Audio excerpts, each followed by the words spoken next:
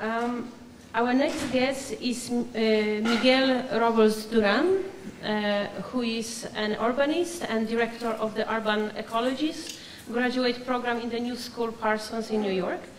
And he's a senior fellow at the Civic City, a postgraduate uh, design research program based in Head, Geneva, Switzerland, and a co-founder of Cohabitation Strategies, an international non-profit, non-profit cooperative for social-spatial development based in New York and Rotterdam.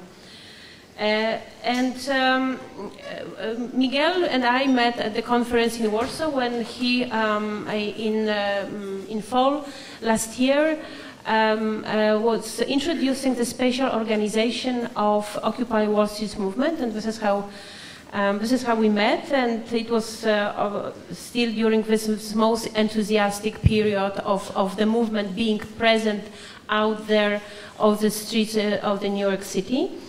And then I asked Miguel to, Miguel to come back to, to that talk, but also from the today's perspective. So what happened, what the movement produced, how it continues, what kind of possibilities it creates, and what kind of form, what kind of forms of organization grew out of this. Uh, please welcome Miguel Robles Duran.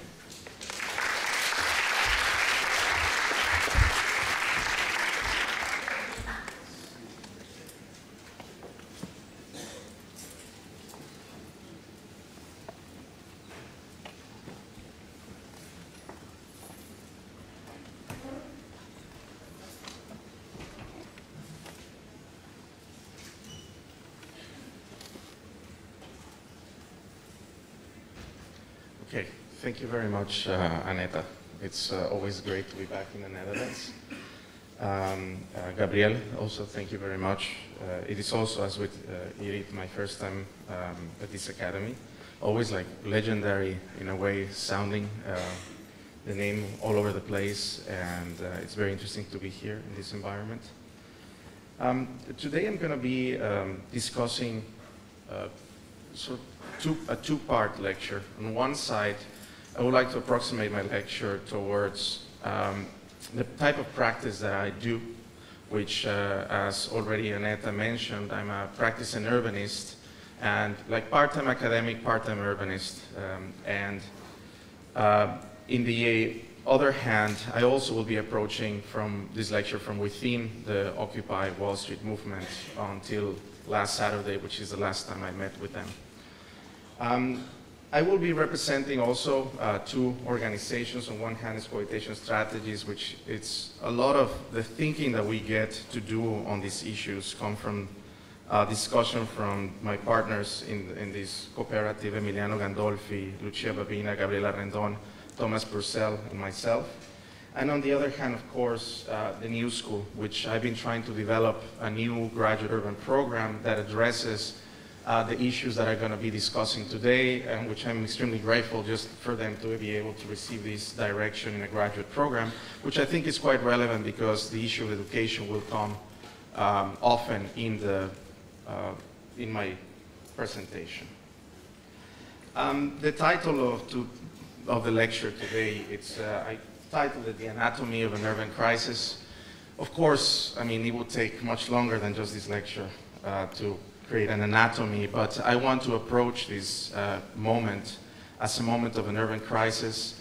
On one hand, because I'm, of course, a practicing urbanist, but on the other hand, it's just another way of trying to look and see uh, what's going on around the world.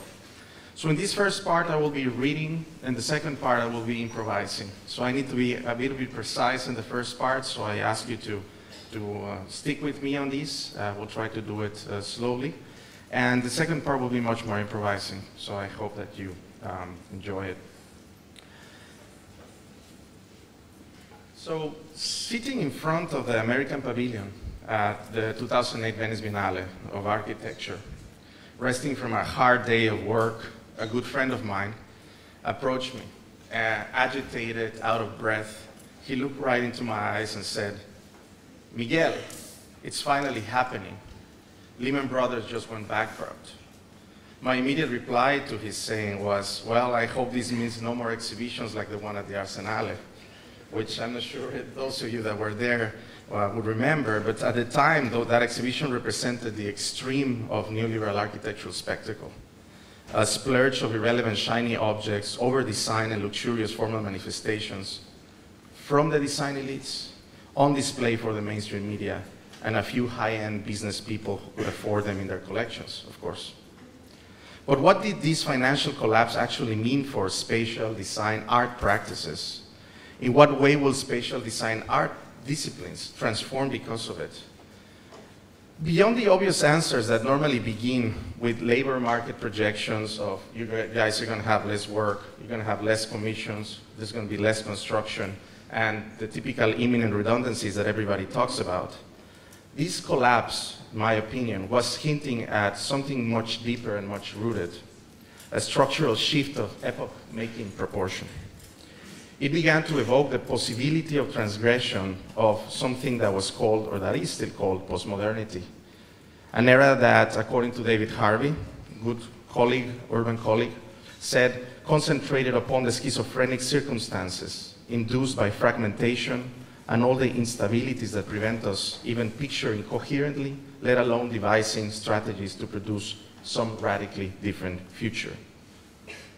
Although addressing these structural shifts would require, of course, much more than these 45 minutes that I'm going to be talking, the first part of my presentation will attempt to raise relevant questions about the role of spatial design art disciplines um, it responds to the general direction that the urban development has taken since the beginning of the current global crisis. Utilizing Europe, this is by the way the Arsenale, um, uh, it's close to the Arsenale, utilizing Europe uh, to exemplify, exemplify how the economic overturn has been slowly repositioning the importance of spatial design, art practices, and in which way the crisis has pushed the bifurcation of the classical disciplinary lines into the slow emergence of what I think is a new genus, still difficult to define, of radical urban practices. In December 17, 2010, the European Commission demanded to know why a 16 million euro concert hall built and designed the coastal region around Naples by Oscar Niemeyer, this famous Brazilian architect, was not in use. Since its construction approval in 2006, the project had costed approximately 8 million euros to the European taxpayer, and now Europe was looking to get its money back. On May 3, 2011, the Spanish Housing Minister, Beatriz Corredor, together with the Public Works Minister, Jose Blanco, began a six-nation tour aimed at encouraging richer European citizens, especially from the north, to buy one or more of the estimated 3 million empty houses in Spain. In October 23, 2011, the US bank BNY Mellon, together with five other investors, were close to buying a Bank of Ireland's headquarters buildings for 5 million euros. Once seen as a symbolic flagship of the International Financial Service Center, it sits at the core of the now lifeless 500 hectare urban redevelopment of Dublin's Docklands, itself a clear model of the European Union's new urban policy for the promotion of large scale urban development projects. Now, these are just three examples of the thousands more that typify the political economic climate of the current economic crisis.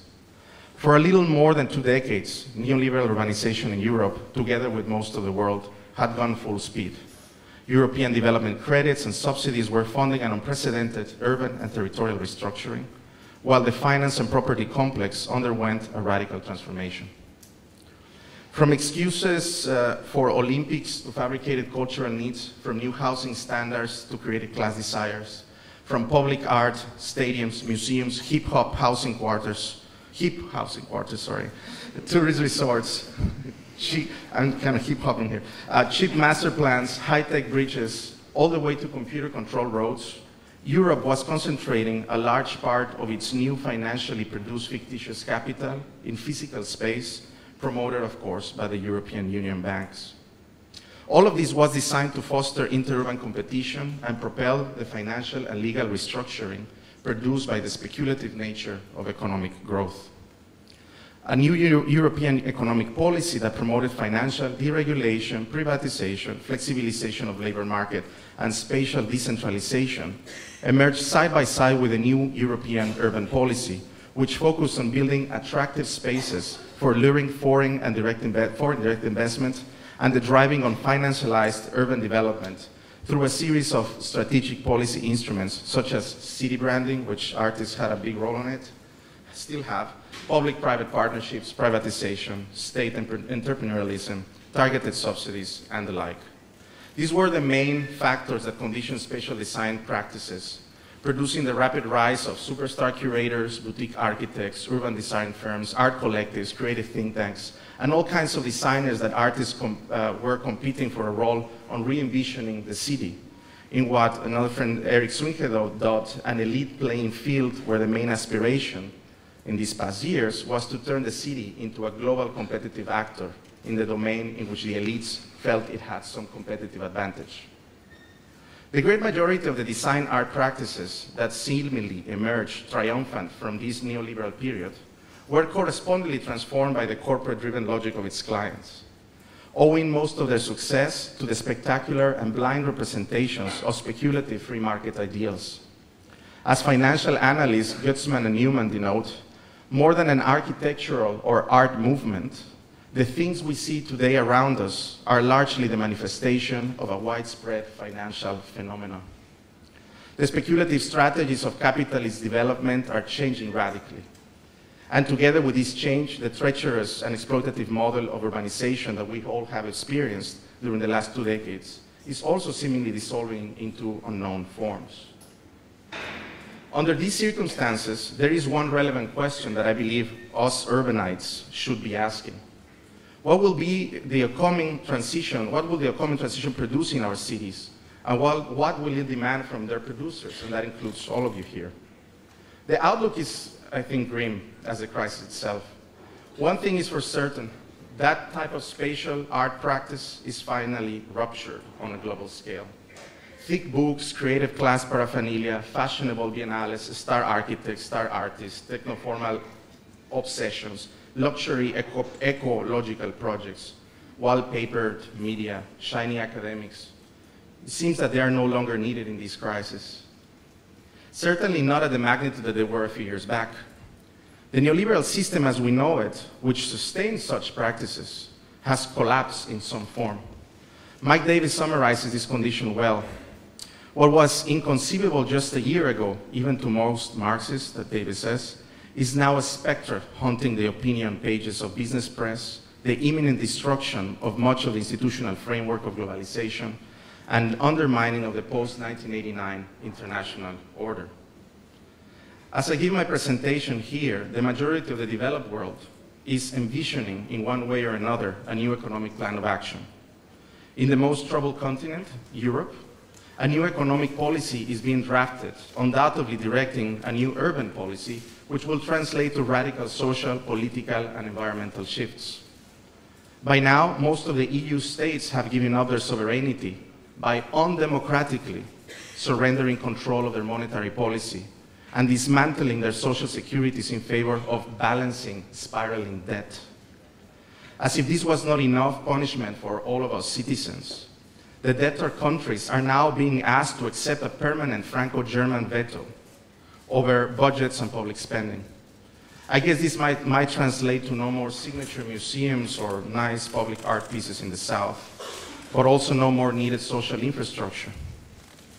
The urban implications of such a structural economic shift are not that difficult to predict, as it appears that the ideological base of its promoters remains intact.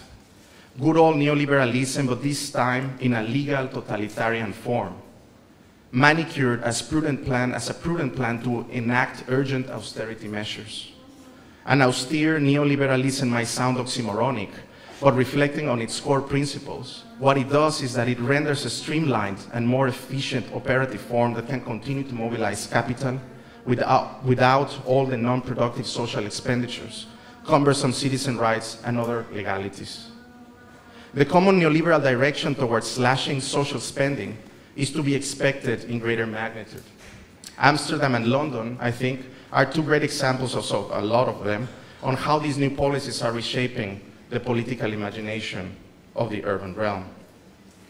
November 6, 2011, Amsterdam revealed its austere spending intentions to cut cultural and social programs such as job assistance, language courses, social assistance, benefits, and anti-poverty measures by 140 million euros, while boosting by more than 100 million euros its infrastructure building program, which includes the continuation of a heavily state-subsidized white elephant from the previous economic regime, the famous North and South Metro line.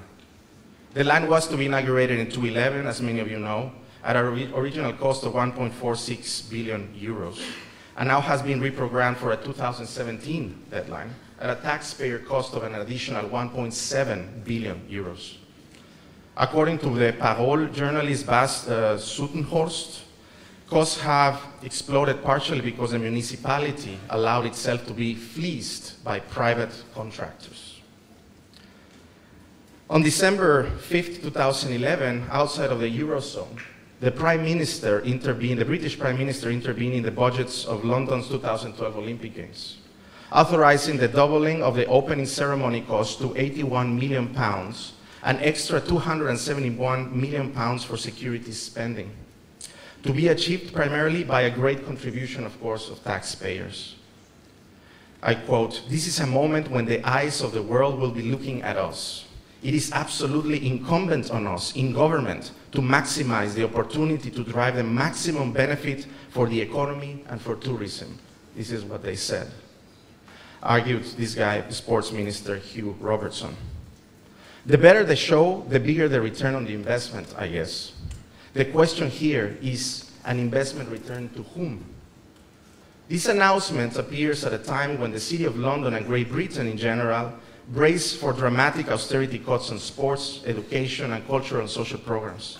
That is 19% of cuts, to be precise, the largest since the Great Depression.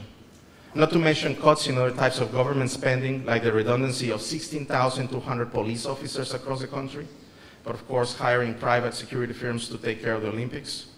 As part of this welfare reform bill, which will affect the one-fifth one of Londoners who still live in some form of social housing. I could talk about many more examples, from the Catalonian austerity measures to Mario Monti's plans for Italy.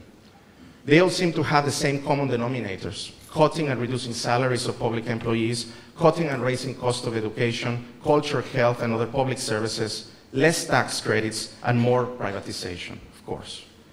In contrast, all these measures come together with a peculiar spending support for long-standing capital projects where large public investment or public-private investment is at stake, where they are of an infrastructural, touristic, or pure real estate denomination. These are spaces that will dominate the building of a brand new urban world. And perhaps a few of the award-winning corporate-friendly design and artist firms which might survive to fabricate that public image. So while most of the urban investment on in this shape or this part of austere neoliberalism will unevenly target selected capital projects, most of the new forms of urbanization, and this is what I come here to argue, will be fought and it's being produced in the streets. Here, I am hinting at the inevitable formation of some form of parallel urban world. What was imagined at some point by cyberpunk novelists more than 20 years ago is now becoming a palpable reality. An urban world with parallel economies, on-the-ground exchanges, solidarities, collective services, alternative housing models, cooperative factories, localized agricultures, and alternative pedagogical structures are produced by the people. And all of these will occur inside and side to side with a gigantic, more unified Orwellian government apparatus that aims to control urban processes for the sake of sustaining the large mobility of capital that is required for the reproduction of the evolved financial system. My point of view, the coming of age, as represented in the spectacular urban accumulations of private capital surplus and the material efforts of nation branding, have reached their limits as they expose and contrast between the minor concentrations of wealth in the city and the massive dilution of poverty of its surrounding territory. We must then come to terms to the West, that the Western hegemonic project, where the state provided, planned, controlled, and define the models of urbanization for all citizens to follow, in my opinion, has reached its tipping point. I can no longer imagine a future that comes out of this tradition, nor can I think many of us foresee a change within that old project, even though this is the direction, the direction that the European Union, the United States, um, and all these governments have been working for. Western governments have gone, and this I quote, as far as possible in externalizing the cost of urban and environmental degradation, social reproduction. This is David Harvey talking. The assault on the environment and the well-being of its people is palpable, and it's taking place for political and class, and not for economic reasons. The only question is, and this David Harvey asks, when will the people start to wage class war back? In 2010, um, many of us began to wage organized class war. It is a frighteningly long road to reach, the starting points of earlier attempts to build a new world, Davis, Mike Davis argues. But he also says, a new generation at least has bravely initiated this journey. And now, what is to be done by us that practice outside? This December 17th uh, marked one year anniversary of Mohamed Bouazizi, setting himself on fire in a desperate act of protest. A human spark that triggered a world uprising of historical proportion.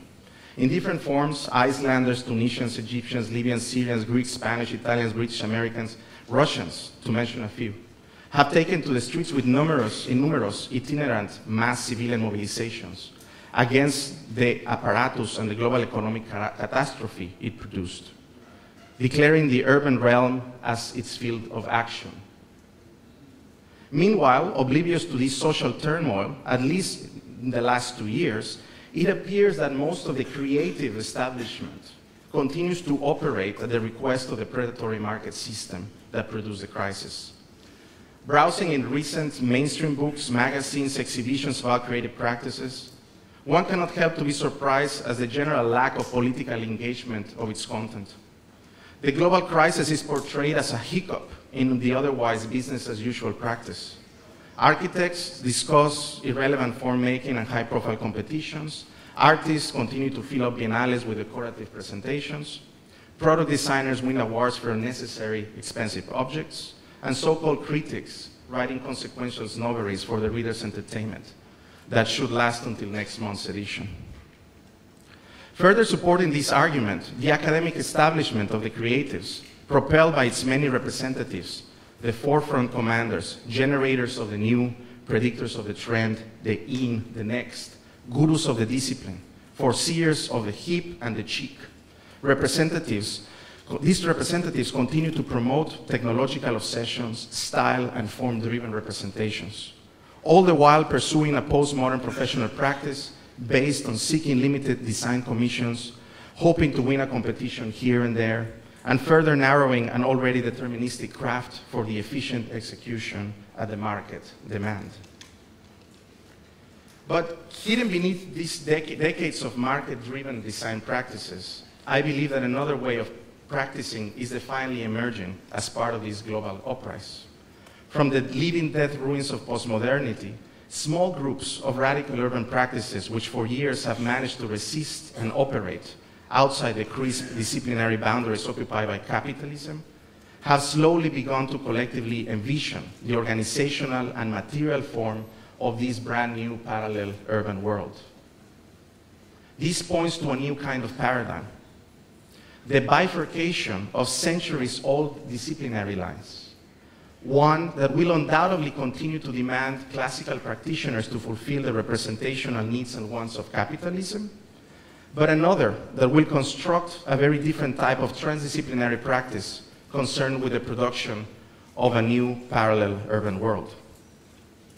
Now, this I, I, I start uh, discussing the second part of my presentation, which deals more with my engagement uh, in the Occupy Wall Street movement, as thousands of us have. Um, and I should, before, before I begin, I should present to you this text that is uh, behind me.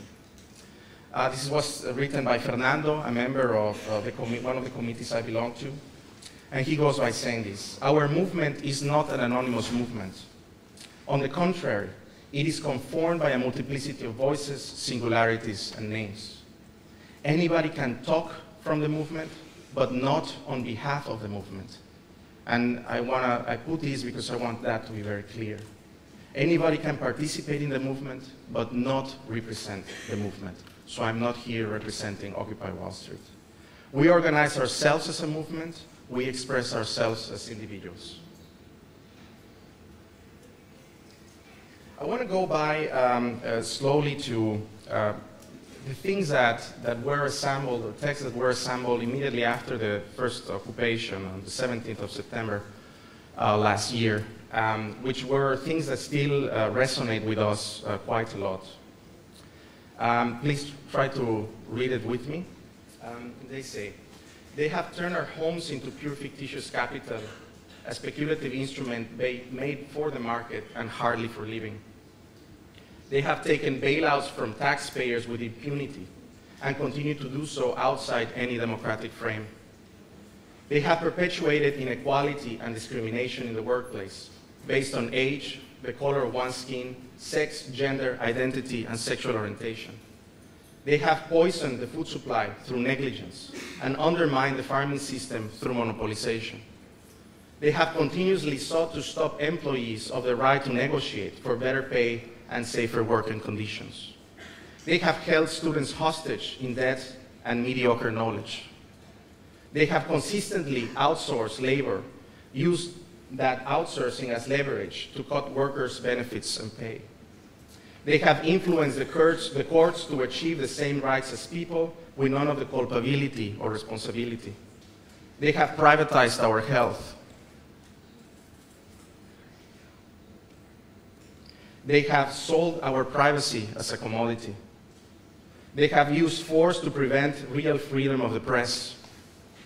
They undemocratically determine economic policy despite the catastrophic failures that their policies have produced and continue to produce. They have donated large sums of money to politicians who are responsible re of regulating them. They continue to block alternate, alternative forms of energy to keep us dependent on oil. They continue to block generic forms of medicine that could save people's lives and provide relief in order to protect investments that have already turned into substantial profits. They have purposefully covered up oil spills, accidents, faulty bookkeeping, and inactive ingredients in pursuits of profit. They purposely keep people misinformed and fearful to their control of the media.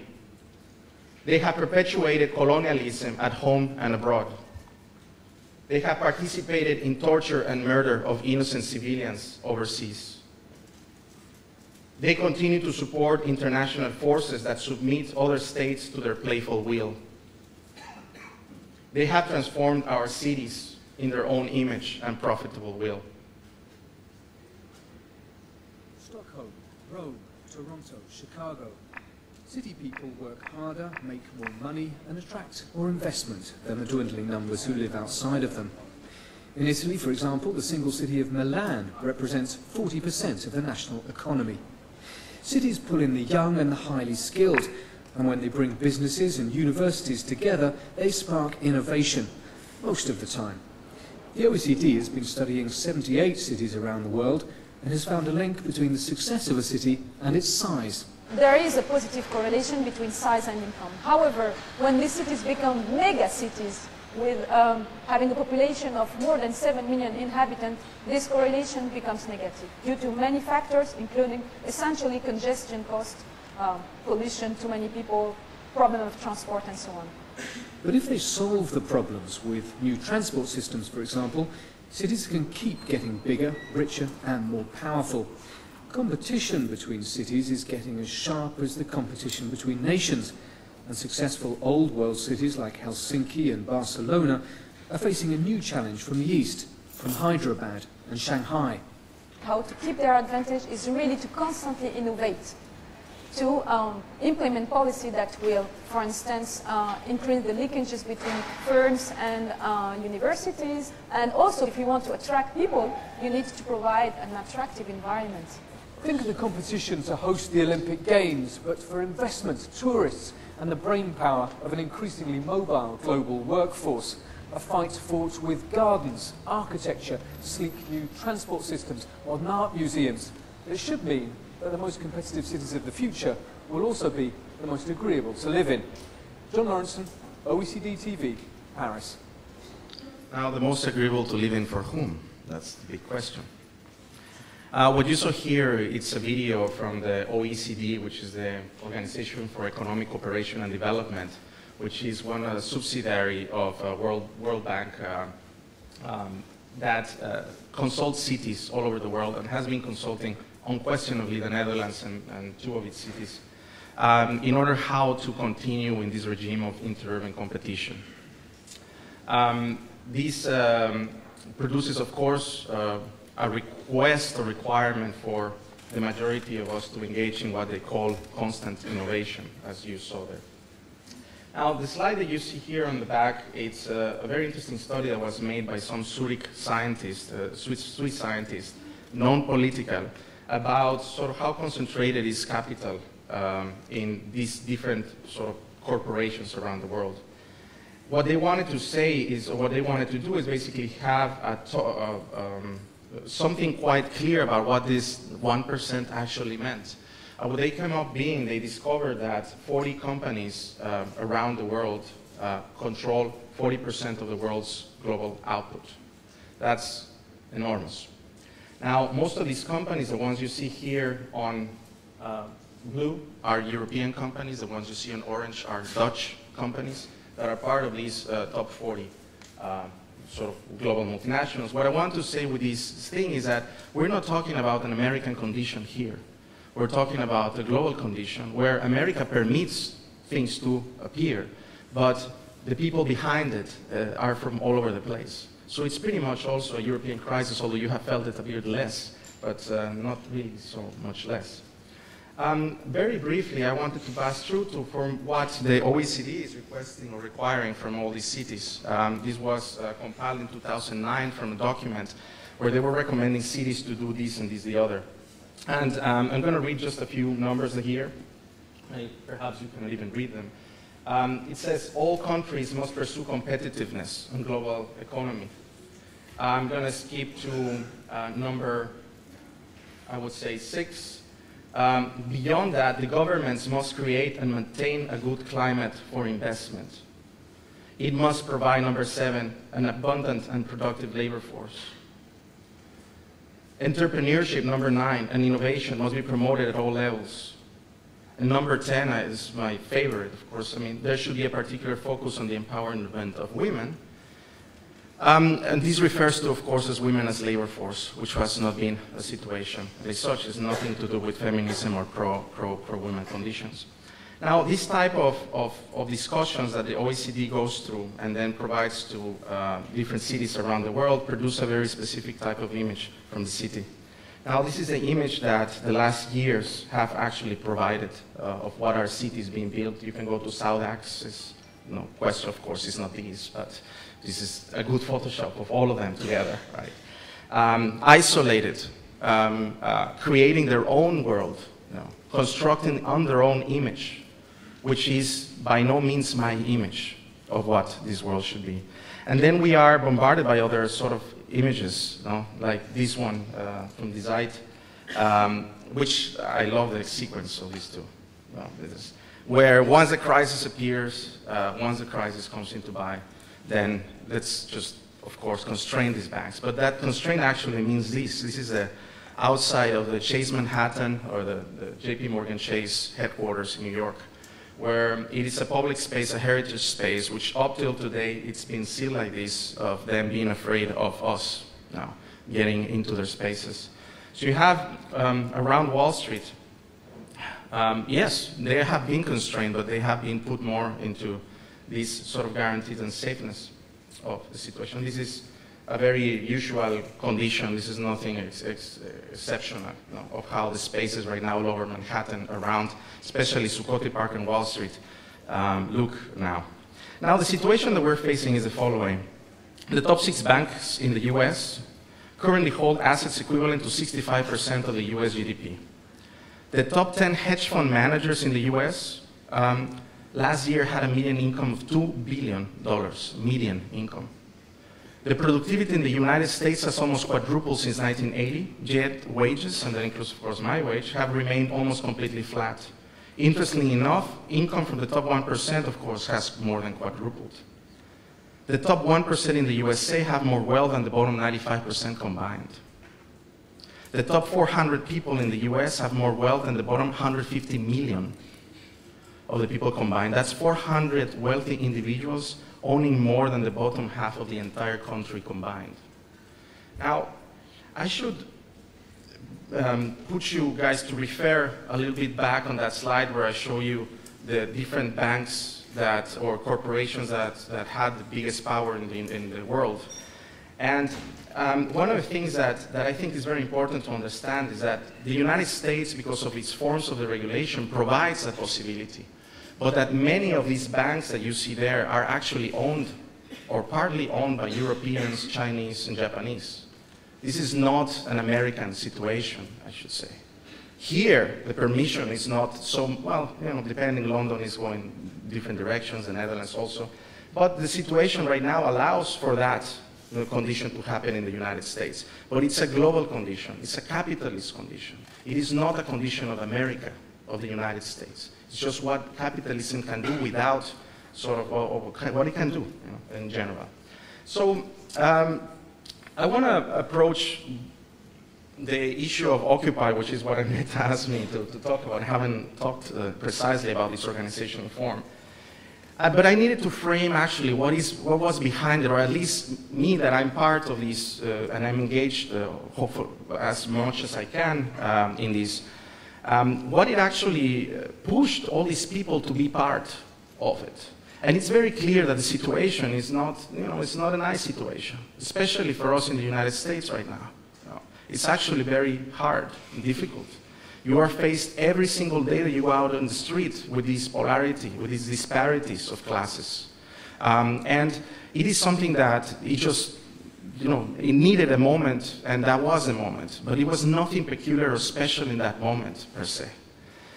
So far, we have 8,868 members. I looked at uh, in the morning, uh, this, this, uh, this, uh, num this number.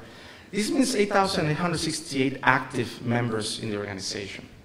Now, what is very interesting about how the whole movement has been composed around is that the movement is really composed of labor, of, of labor workforces it's not composed of you know, a bunch of people just going out in the street and committing. Actually, all these 8,868 members that you see there are working. Uh, they work, I try to work as much as I can on a Saturday because that's the most I can do it. There are others that can actually do it more often. Um, and they're working towards certain projects. I'm going to try to show you two projects, but I want to give you a brief of what that means. Behind me, you have all these um, committees, uh, the think tank committee, which is responsible of the main direction of the organization.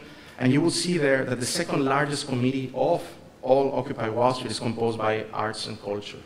Uh, um, I am surprised, but I'm not surprised. No. Um, of course, there's incredible disparity within. You can imagine the types of dogfights and catfights that happen within it.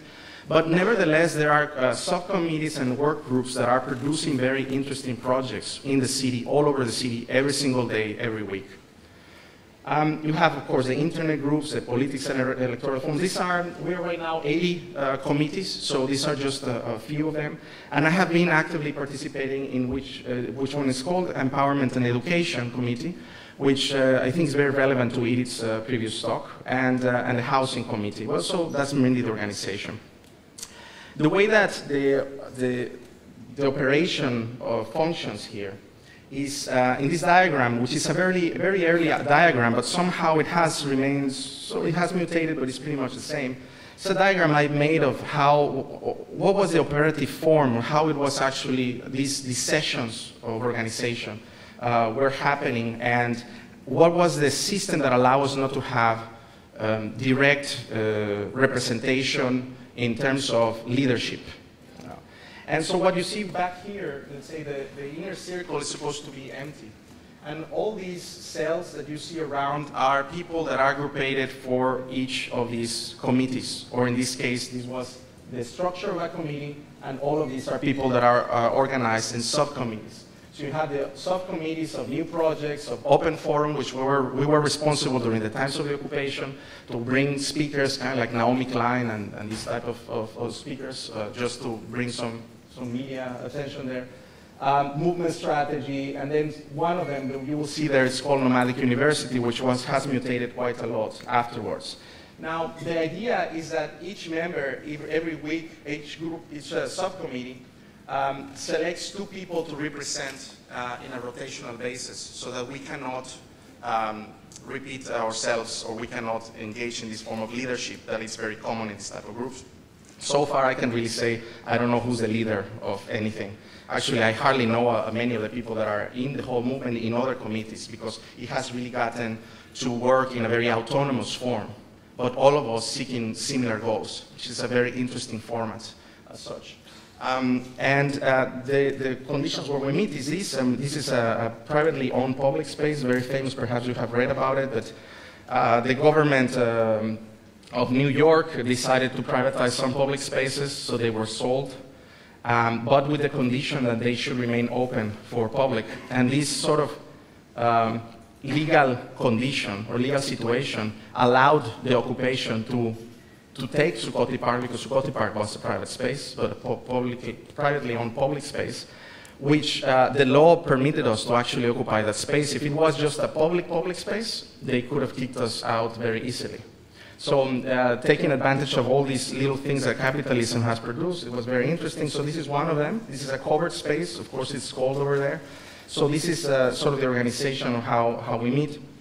And in general, um, the, the different events that happened within it. This was last Saturday. We had a, a very important conversation on what we call uh, Occupy University, which is what we've been developing, which is very funny that, you know, Irit um, sort of approached her lecture at the end with issues of, uh, how was it, 10th University and such.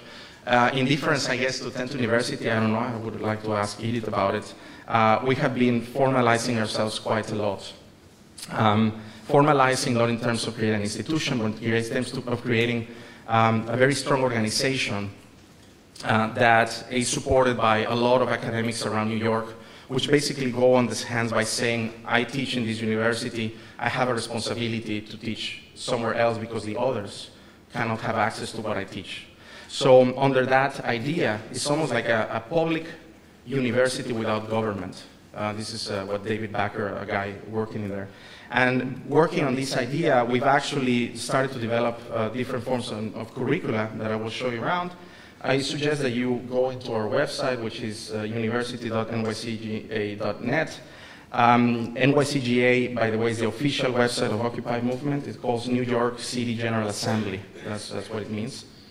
And uh, developing core curriculums of what we call civic empowerment in this project. So you cannot read this, I, I think I even can't, but uh, on different conditions, what we have tried to do is work around, um, we're going to discuss property, let's talk about things that they have not taught us in, in college or in high school or in any other uh, frame. Things that are considered outside of the general education, like community land trust, affordable housing models, uh, about warehousing, about squatting, about conditions of gentrification, alternative finance models, if I go to economy, about trade deals, workers, cooperatives, um, economic solidarity, alternative currencies. Uh, in labor, we have unions, guilds, of course, cooperativism, mutualism, about capitalism, about democracy, about social movements, uh, about food, health, pedagogy, art, design, media environment, and so on and so on. So with this curriculum, uh, which is a flexible curriculum, well, we have been approaching a lot of people uh, in the ground uh, in New York. Uh, a lot of actually quite good academics have uh, agreed to teach at the university. And then we're setting some form of, of, of organization around it. We organize to all of these. Um, I want to show you this. This is one of the, the, the part of the education thing, which is quite moving.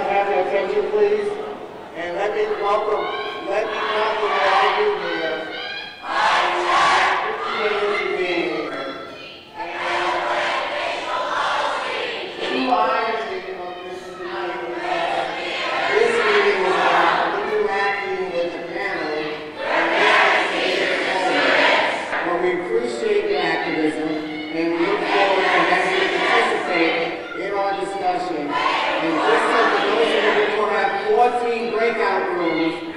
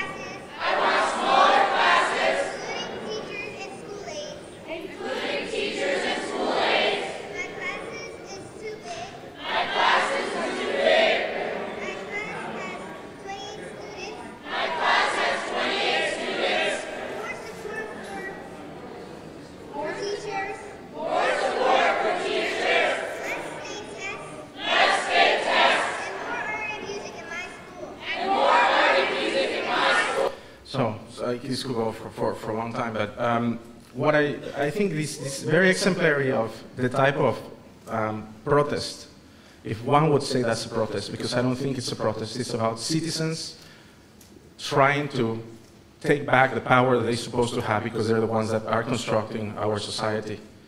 Um, they're not demanding things. I mean, this is one of the long-standing sort of uh, issues at the beginning of the, of the, of the movement. They are making things happen in some form. So what you saw now happens almost uh, every time the DOB Department, uh, Department of Education, DOE, uh, meets. Um, the same has happened to many uh, meetings uh, in the whole uh, New York regarding, for example, housing, which is another part that I've been totally as engaged as I can, um, where they're going there and they're stopping foreclosures. So what this has allowed is, is it has brought back a certain sense of empowerment to people. Uh, to me, certainly, it has done that. Uh, and not to me as urbanist, academic, whatever, but to me as a general citizen of, of that city.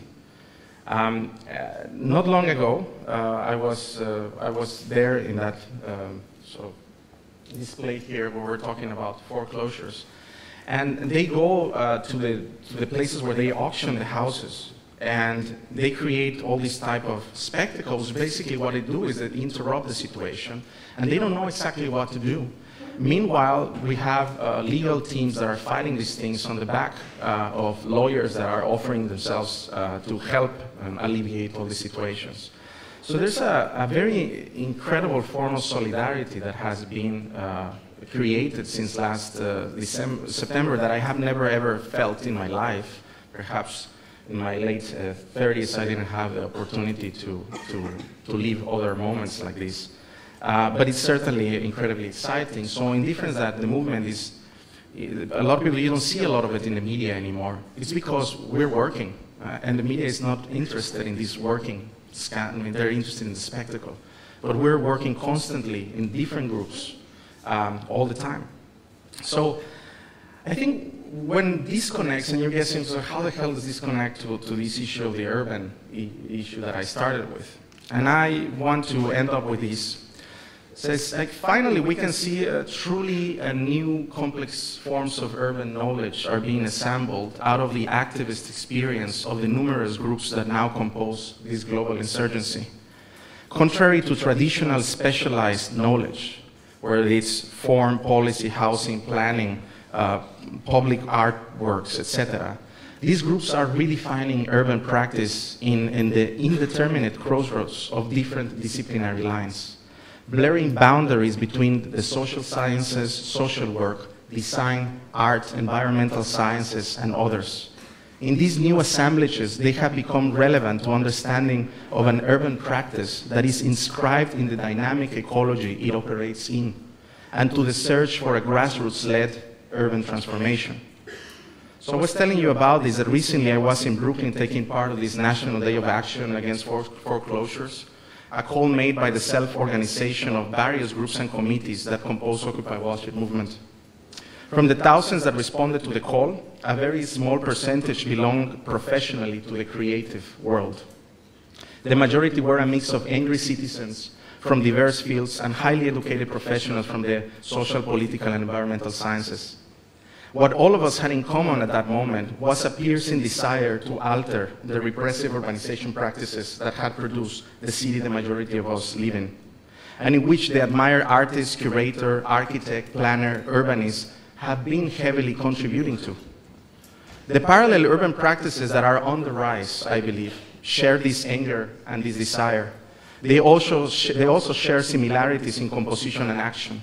All of them are hybrid practices that integrate multiple disciplines and sources of alternative knowledge, from street knowledge to social dynamics, urban policy to ecology.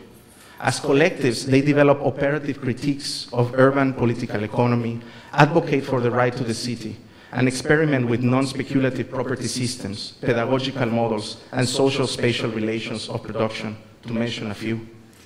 These practices have recognized that a large part of the knowledge they acquired in their classical disciplinary training is overly deterministic, futile, and useless to actively respond to the urgent state of our urban condition. We have to understand that these new, these new, these new forms of knowledge are needed to struggle against the social, financial, economic, and political dictates of capitalism and its main negotiators. The question, I guess, for you guys here is would you choose to continue to struggle in the diminishing industry of neoliberal representation? Or would you choose to help develop a new urban knowledge that our cities are crying for? With this, I want to conclude this prelude um, to all the non-conforming, critical, and disenchanted audience members of this auditorium.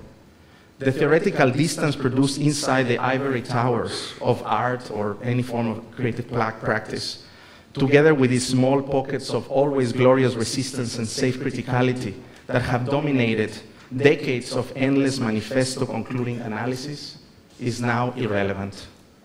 The time has come, and this I tell to all, to dissolve our practices into the civic, to understand that a critical practice can only be achieved if it redefines itself inside the active dimensions of these larger urban, urban movements. Call it 15M, Occupy Wall Street, Indignados, the Arab Spring, Democracia Real Ya, and others that are existing. There are all these groups that are waiting for us to take part of this and reach the active construction of other possibilities of structural change. The time has come to get our hands in the dirt of all that has been left behind by neoliberalism. Guys, it's not about art, urbanism, geography, sociology. We must struggle to destroy centuries old disciplinary silos, merge them in the dynamic ecological totality of civic action and into our precarious daily lives. Only then, I think, we might be able to conceive a critical practice after all of this. Um, thank you very much.